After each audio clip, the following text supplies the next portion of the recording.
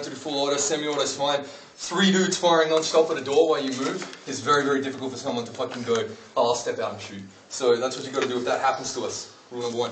Number two, not enough people holding their guns up. Kids, I'm looking at you. You're standing around pointing guns at the ground all the time. Keep those guns up, okay? As I said, controlling the stairs is crucial. If we can get over to that door there, the equivalent of it, over that side on their stairs, they're fucked. They're going to be trying to do the same thing. They're going to be doing exactly what we do, which is divide our force, okay? Send